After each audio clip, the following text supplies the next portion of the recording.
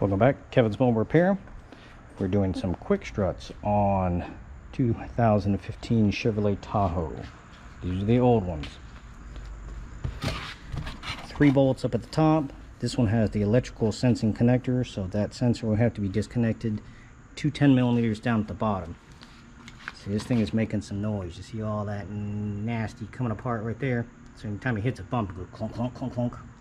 So, we've got I believe there are 17s, three of them over here. This side's harder to see. I'll show you on the driver's side, much more simply. All those right there, electrical connector right there, those come down. And then two 15s down at the bottom, hold it onto the bottom of the control arm. Um, jack the vehicle up high enough so that you can get the tire off.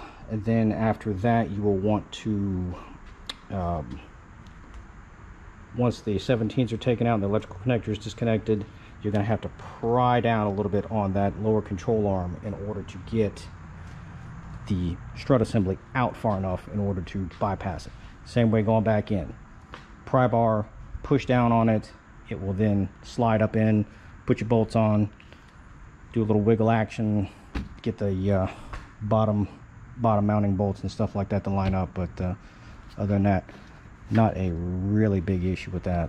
Um, both sides took me about 45 minutes to do both of them um, any questions or comments please feel free to let me know